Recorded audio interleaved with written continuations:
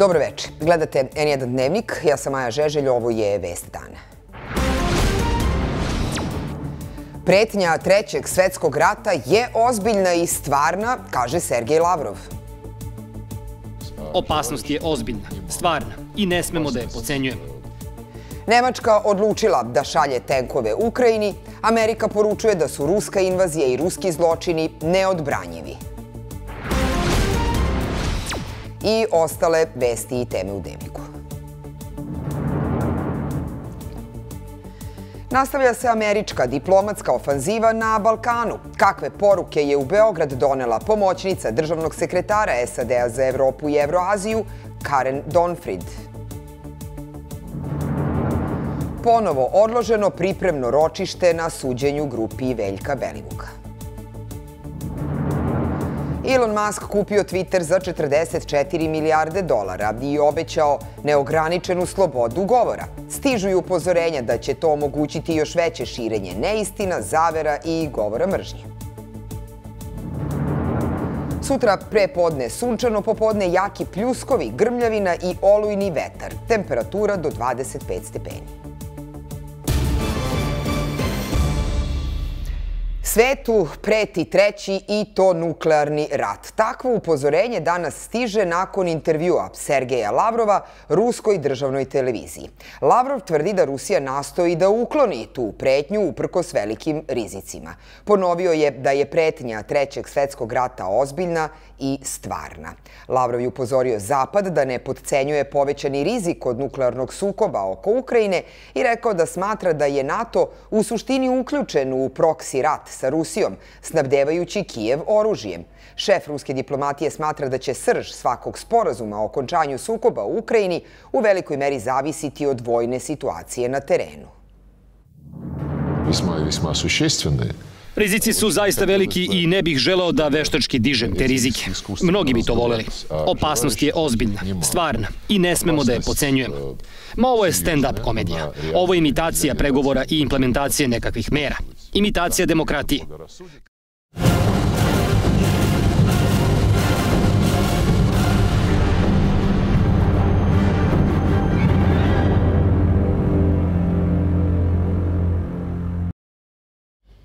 62. dana rata u Ukrajini nema mirovnih pregovora. Ruska vojska je u ofanzivi na jug i istok Ukrajine zauzela grad Kreminu u Luganskoj oblasti. Vladimir Putin tvrdi da je Mariupolj osvojen i da više tamo nema borbi. Poručio je to u telefonskom razgovoru sa turskim kolegom Erdoganom, pozivajući ukrajinske borce da se predaju, život im je, kaže Putin, zagarantovan. Хотим минимизировать Želimo da minimiziramo štetu po civile u Ukrajini. Važno je da svima bude jasno da se ne borimo protiv ukrajinskog naroda. Oni su Sloveni. Takođe imam puno prijatelja i rođaka u Ukrajini. Rusija optužuje ukrajinske vlasti da sprečavaju civile skrivene pod zemljom zajedno sa ukrajinskim vojnicima u opkoljenom metaluškom kompleksu da napuste fabriku, a desetine hiljada oni koji su ostali u tom lučkom gradu izgubili su svaku nadu. Все потеряли. Izgubili smo sve, apsolutno sve. Sve za što smo radili. Jednostavno ne znamo šta da radimo i šta da počnemo ponovo. Zapadni izvori navode da su vođene teške borbe južno od grada Izjuma i da ruske snage napreduju ka gradovima Slavijanski Krematorsk iz pravca severa i istoka. Od jutros je bombardovano i Zaporožje. Raseljeno je više od 10 miliona Ukrajinaca. Ja vyjechala 8. Otišli smo iz grada osmog, a moj muž je preminuo desetog jer je imao srčanih problema. Pokopali smo ga u dvorištu ispod drveta jer nije bilo više mesta na groblju. Ja više nemam gde da odem. Danas je u američkoj bazi Ramstein u Nemačkoj održan istorijski sastanak više od 40 ministara odbrane sa jednim ciljem, kako vojno pomoći Ukrajini. Russia's invasion is baseless, reckless, Ruska invazija je neosnovana, nepromišljena i nezakonita. To je uvreda međunarodnom poredku zasnovanom na pravilima. To je izazov za slobodne ljude svuda. I kao što vidimo jutros, nacije dobre volje iz celog sveta ujedinjene su u našoj rešenosti da podržimo Ukrajinu u njenoj borbi protiv ruske imperialne agresije. Nemačka je odobrila isporuku tenkova Gepard Ukrajini, Slanje nemačkih tenkova u Ukrajinu je prekretnica u opreznoj politici koju je Berlin vodio u vojnoj podršci Kijevu. A rat se prelio i na još jednu zemlju. Vlasti Pridnestrovlja, separatističke regije na istoku Moldavije, koju podržava Moskva, objavile su vest o eksplozijama u radiotelevizijskom tornju i prekidu emitovanja programa Ruskog radija. Rusija je ranije nezvanično najavila da želi kopnenu vezu preko Ukrajine sa ovim regionom Moldavije. Vladan Alimpijević, N1. Nada da bi generalni sekretar Ujedinjenih nacija Antonio Guterres mogao da pokrene mirovni proces između Rusije i Ukrajine je propala. On je pre sutrašnjeg puta u Kijev pozvao danas u Moskvi na sastanku sa Sergijem Lavrovim na prekid vatre, ali je Moskva odbila predlog Kijeva da se otvore posebni pregovori o Mariupolju. Vrlo smo zainteresovani za pronalaženje načina za efikasan dijalog, rekao je Guterres na početku sastanka koji je emitovan uživo na televiziji. Guterres je predložio predložio uspostavljanje kontakt grupe Ujedinjenih nacija, Rusije i Ukrajine kako bi se omogućili bezbedni humanitarni koridori za evakuaciju civila. Zabrinut sam zbog kršenja humanitarnog prava i mogućih ratnih zločina. Potrebna nam je nezavisna istraga i humanitarni koridori koji su zaista bezbedni i efikasni, koje sve strane poštuju kako bi se civili evakuisali, kako bi bila dostavljena neophodna pomoć. Lavrov je posle sastanka sa Guterešom izjavio da se raduje saradnji sa Ujedinjenim nacijama i Crvenim krstom na olakšavanju humanitarne situacije u Ukrajini, ali da je još suviše rano da se razgovara o posredovanju u mirovnim pregovorima. Šef ruske diplomatije posle sastanka rekao da je za Ujedinjene nacije nastupio trenutak istine ili će svi poštovati povelju organizacije ili će živeti po nametnutim pravilima. Mi se sada nalazimo u takvoj fazi razvoja međunarodnih odnosa da ili ćemo prihvatiti da neko sam sa grupom svojih satelita odlučuje kako će živeti čovečanstvo ili će čovečanstvo živeti na osnovu povelje Ujedinjenih nacija.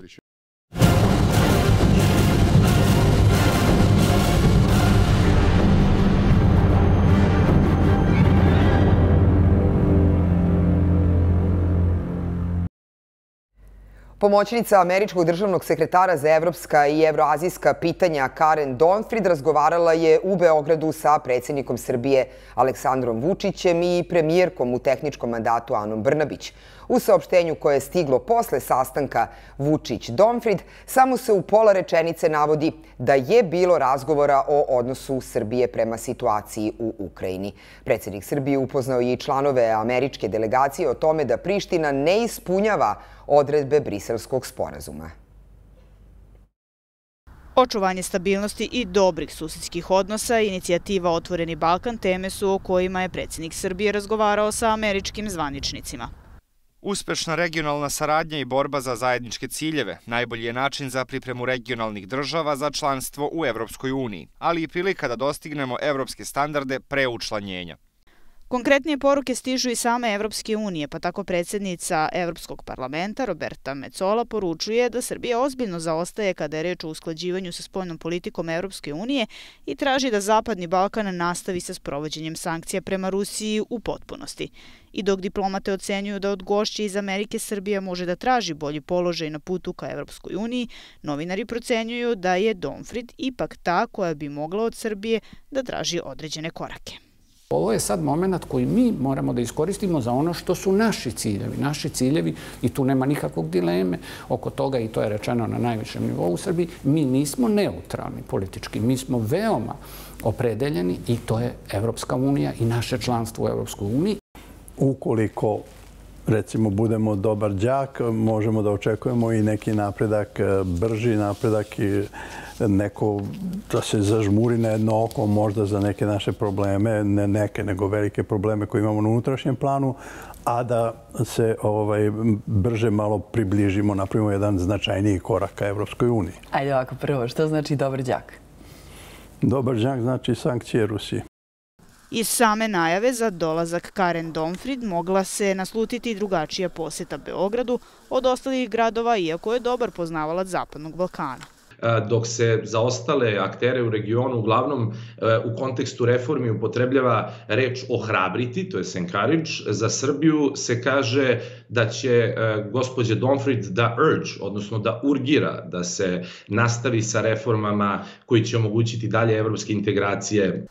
Nekadašnji ambasador Sjedinjenih država u Beogradu, Cameron Manter, kaže da je pred Srbijom odluka o tome na koju stranu svetske realnosti će se naći. Potrebno je da građani i rukovodstvo Srbije naprave izbor kakvu državu žele. Autoritarnu, koja se obračunava sa medijima, bez opozicije i suštinski saglasnu sa bezrazložnim i neopravdanim napadom Rusije na Ukrajinu, ili da žive evropski život. Posle Beograda, Donfrid i Ekshobar, koji su juče boravili u Prištini, posjetit će Bosnu i Hercegovinu, Severnu Makedoniju, Albaniju i Crnu Goru. Žaklina Tatalović, N1, Beograd. Jedinica pogranične patrole Kosovske policije napadnute iz vatrenog oružja jutro su Zubinom potoku, potvrđeno i iz Kosovske policije, a prenosi portal Kos Sev. Iz portala podsjećaju da je to šesti napad na policiju na severu Kosova tokom ovog meseca. U Pucnjavi niko nije povređen, a istraga je u toku.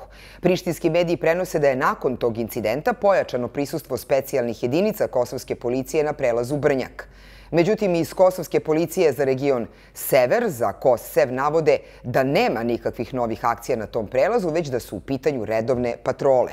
Napad na kosovsku policiju su osudili direktor Kancelarije za Kosovo i Metohiju i Srpska lista. Podizanje tenzija nema nikakve veze sa Srbima, poručuje Petar Petković.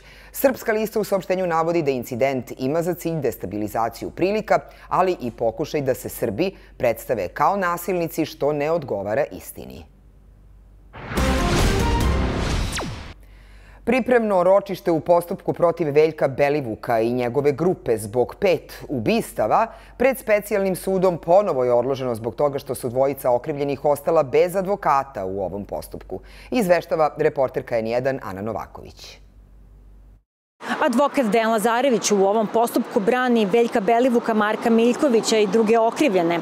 Lazarević je inače i advokat Darka Šarića u odvojenom postupku i on je 14. aprila uhapšen u velikoj međunarodnoj policijskoj akciji kada je uhapšen i Darko Šarić, ali i još trojica osoba kojima se stavlja na teret da su počinili niz krivičnih dela. Lazarević se od hapšenja nalazi u pritvoru, zbog čega su dvojica optuženih Vladimir Grek i Vlade Draganić ostali bez branioca. Belivuka Miljkovića i druge branjenike Lazarevića i dalje brani advokat Nikola Ristović koji je i danas bio na ročištu. Nije bila obezbeđena odbrana za sve okrivljene, tako da je suđenje odloženo za 24, 26 i 27. maj. Tako da je naloženo okrivljenim da u roku od mesec dana obezbede sebi druge advokate što smatram da je ovaj postupak neozbiljan jer je vrlo to kratak krok. Nema ni jednog advokata koji je u stanju da za mesec dana pripremi ovako, složćate se, obiman predmet. Po meni, e, sud je pogrešio što nije izazva, prozvao sve okrivljene da ih pita da li oni, pored Ristovića, žele i nekog drugog advokata. Optužnica koja tereti Veljka Belivuka, njegovog najbližeg saradnika i još 28 osoba za pet teških ubistava, otmice, mučenje, silovanje, prodaju droge i nedozvoljeno držanje oružja, postala je pravosnažno u novembru 2021. godine.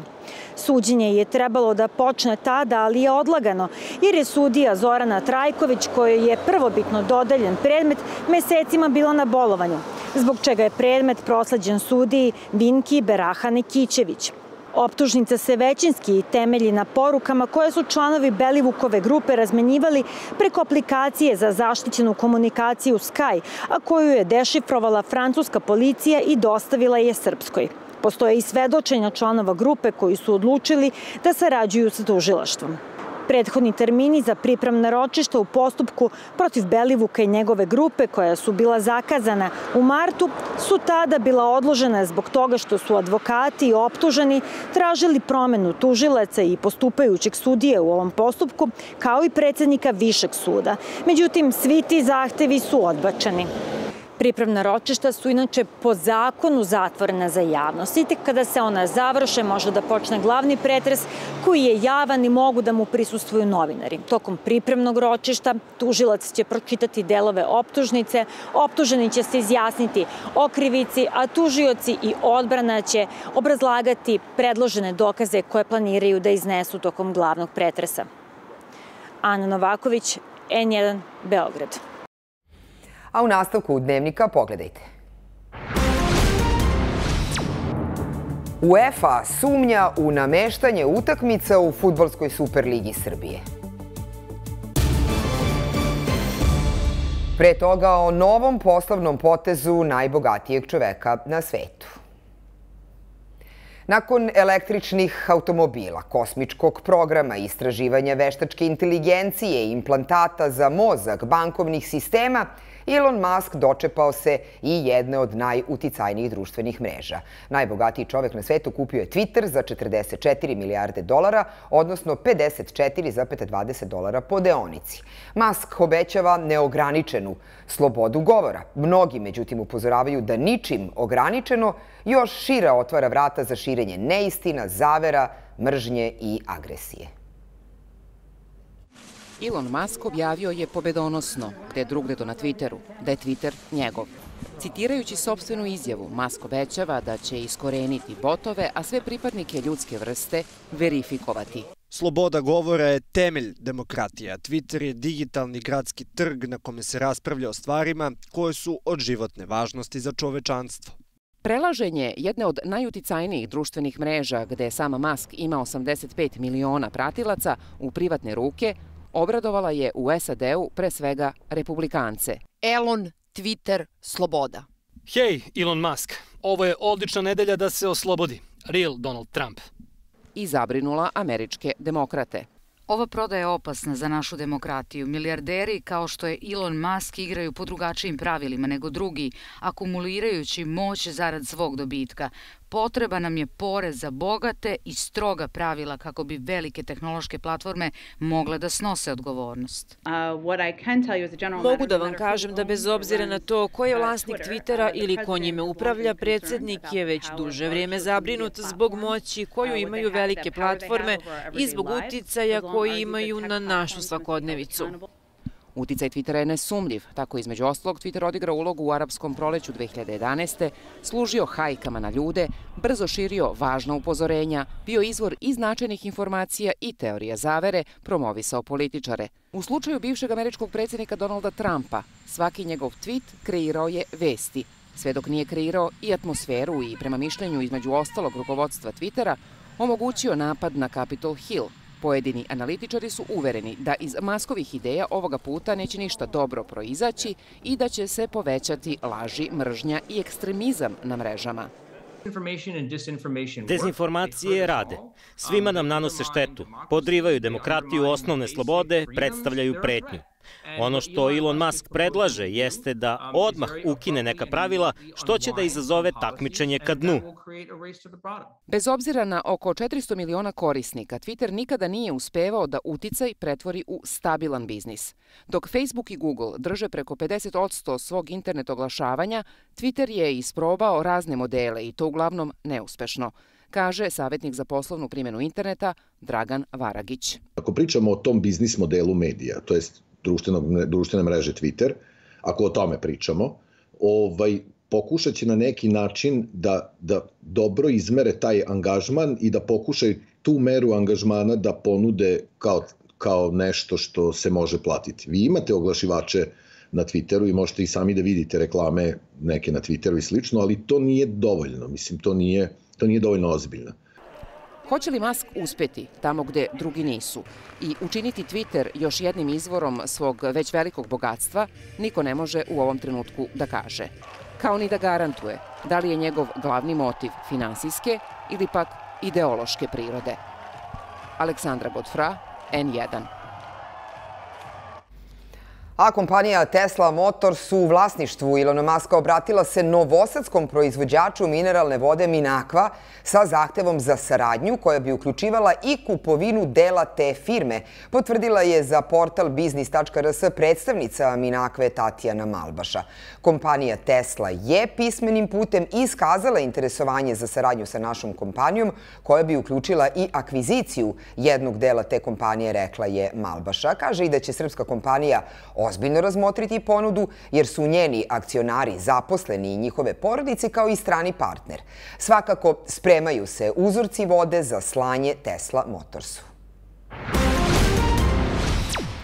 Pratimo i situaciju sa koronavirusom. Kod nas u posljednje 24 sata preminulo je još 9 osoba objavljeno na sajtu Ministarstva zdravlja. Testirano je 11.208 osoba, 981 je pozitivna. Na bolničkom lečenju je 415 COVID pacijenata, 27 je na respiratorima. Republički zavod za statistiku objavio je podatke koji pokazuju da je za prva tri meseca ove godine Srbija manja za grad od 21.000 stanovnika.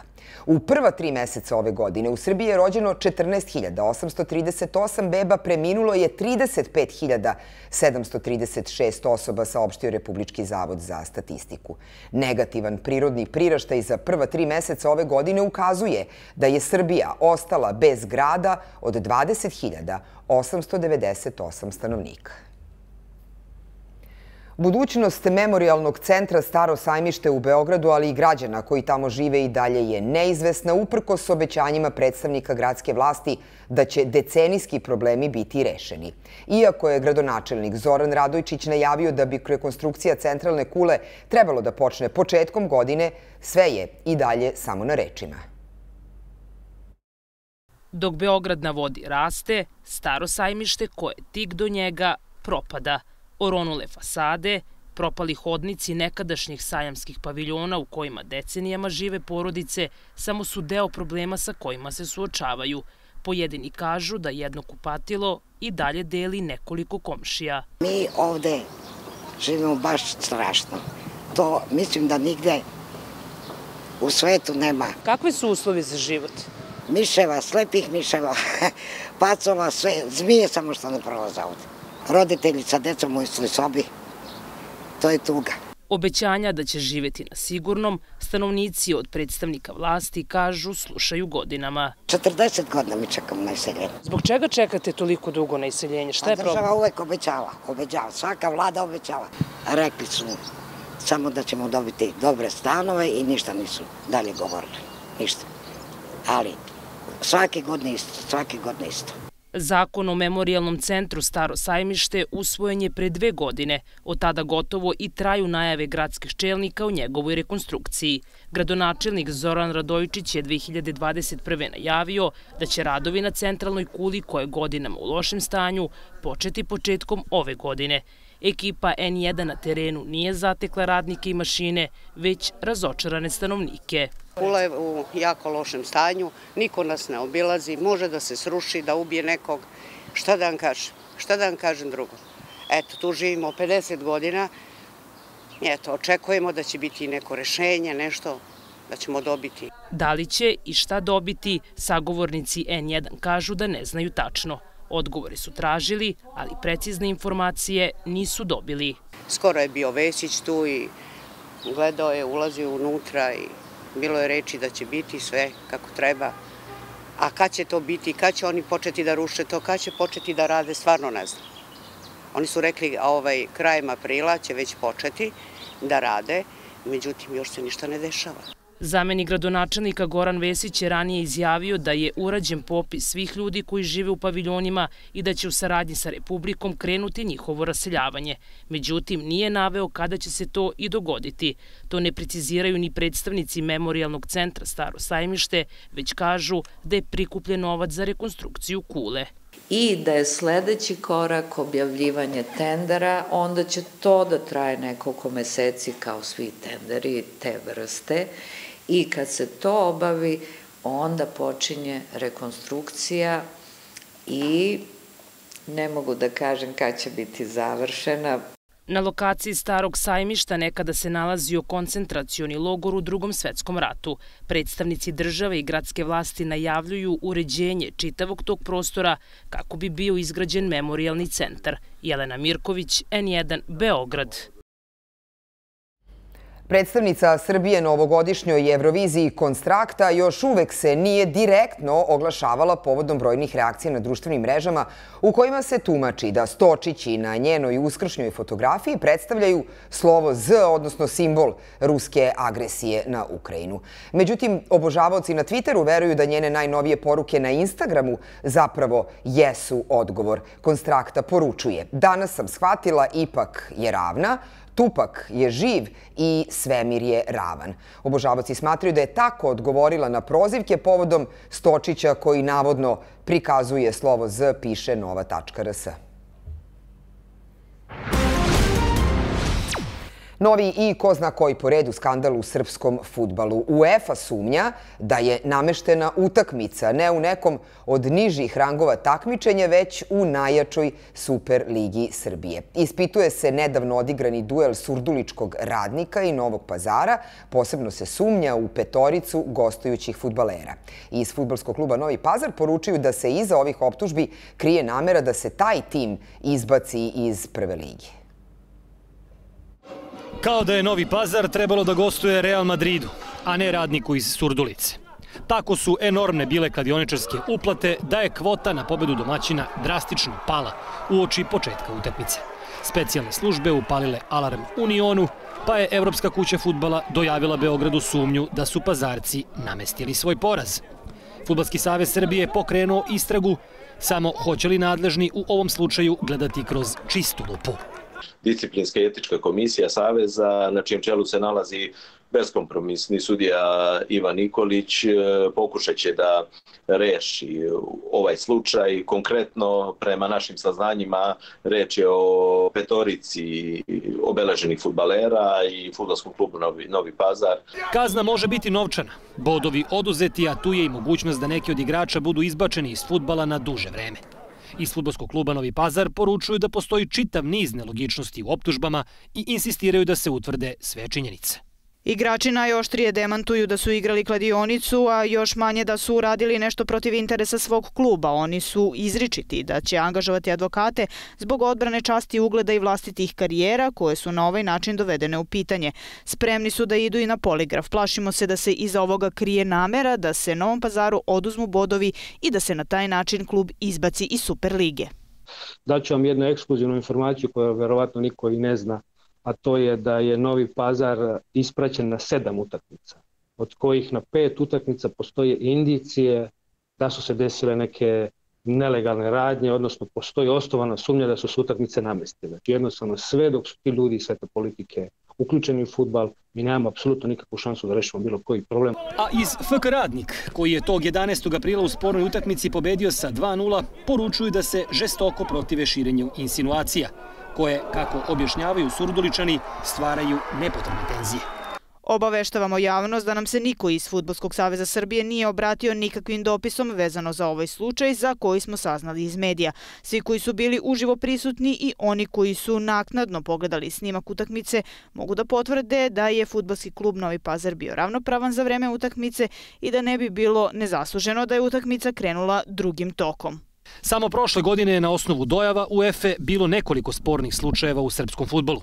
Pod sumnjom su bili i klubovi, i futbaleri, i sudije. Kažnjeni su Jagodina, Borac, Timok, a u pojedinim predmetima nije utvrđena krivica. Čim je Evropa posumnjala u surduličkih iz Keca u Kec, srpski futbal je već pazario novog Keca. Nenad Nešić, N1, Beograd. Novaku Đokoviću biće dozvoljeno da odbrani titulu na Wimbledonu uprkos tome što nije vakcinisa protiv COVID-19 jer za ulazak u Veliku Britaniju vakcina više nije potrebna. To je danas poručila izvršna direktorka organizatora turnira Sally Bolton objavio ABC News. Istakla je da, iako organizator ohrabruje da se svi igrači vakcinišu, to neće biti uslov za ulazak na takmičenje. Teniski turnir u Wimbledonu počinje 27. juna. A Davis Cup tim Srbije na završnom turniru igraće u grupi B sa Španijom, Kanadom i Južnom Korejom. Iako još uvek nisu poznati kompletni sastavi timova, ta grupa okarakterisana je kao teška.